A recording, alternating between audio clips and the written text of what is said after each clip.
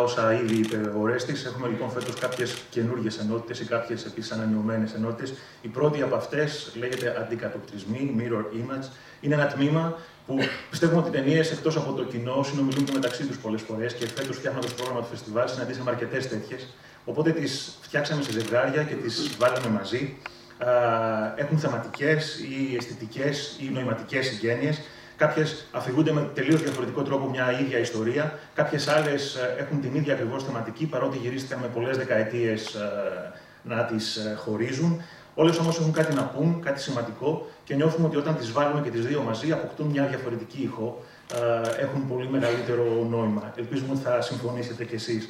Έχουμε το Film Forward, ένα τμήμα που περιλαμβάνει εννέα ταινίες από σκηνοθέτες που δεν φοβούνται μέσα από το έργο τους να πειραματιστούν με τη γλώσσα του σινεμά Όμως χωρίς να παραμελούν την ουσία του, τις ιδέες. Από την κομμωδία μέχρι το animation, από ένα πολιτικό σινεμά έως ένα σινεμά σχεδόν πειραματικό, οι σκηνοθέτες αυτού του τμήματος δοκιμάζουν να αφηγηθούν με καινούριο τρόπο και την ίδια στιγμή φτιάχνουν νέους δρόμους για το σινεμά. Έχουμε ένα αφιέρωμα που το σκεφτήκαμε αρκετά. Λέγεται δύο-τρία πράγματα που ξέρω για αυτή, θα μπορούσε κανείς να πει ότι είναι ένα αφιέρωμα σε, στο γυναικείο σινεμά, αν ξέραμε τι είναι το γυναικείο σινεμά, αν μπορούμε να το ορίσουμε.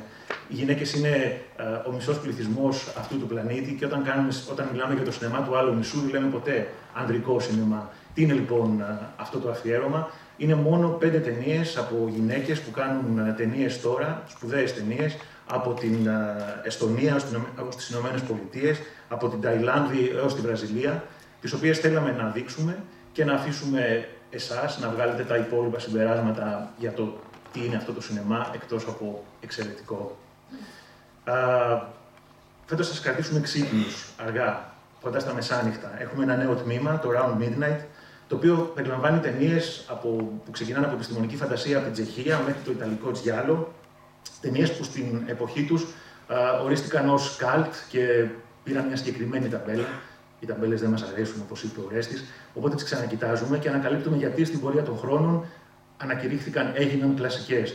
σω γιατί ακόμα είναι συναρπαστικές, γιατί ακόμα έχουν κάτι να δώσουν στο θεατή του σήμερα και γιατί μας κρατάνε ξύπνους ακόμα και αν η ώρα είναι περασμένη. Όμως εκτός από τα καινούργια αφιερώματα, αν και το Round Midnight έχει παλιές ταινίες, ε, έχουμε ένα αφιέρωμα στον Λεωνάρντο Φάβιο, ένα σκηνοθέτη που έχει πεθάνει, δεν είναι πια μαζί μας. Ένας μεγάλος άγνωστος του Λατινοαμερικάνικου σινεμά, ένας Αργεντίνος, ο οποίος εκτός από σκηνοθέτης ήταν επίσης τραγουδιστής και συνθέτης. Ήταν εξαιρετικά διάσημο σε όλη τη Λατινική Αμερική, στην Ευρώπη, στον υπόλοιπο κόσμο σχεδόν παραμένει άγνωστος, όπως και στην Ελλάδα. Ε, έχει δημιουργήσει υπέροχες ταινίες, τις οποίες είμαστε περήφανοι που θα ανακαλύψετε μαζί μας ε, στη Θεσσαλονίκη έναν αντίστοιχης ε, ε, δυναμικής και δύναμης σκηνοθέτη ε, εν ζωή. Έχουμε επίσης, θα είναι παρόν στο φεστιβάλ, είναι ο Φιλίπ Γκραντριέ, ένας από τους σημαντικότερους Γάλλους δημιουργούς του σήμερα. Έχει κάνει ταινίες που έχουν τίτλους όπως Σκοτάδι, Λευκή Επιληψία, Φώνησα, Αν και νύχτα. Αυτό ίσως σας προειδεάζει λίγο για το σινεμά που κάνει.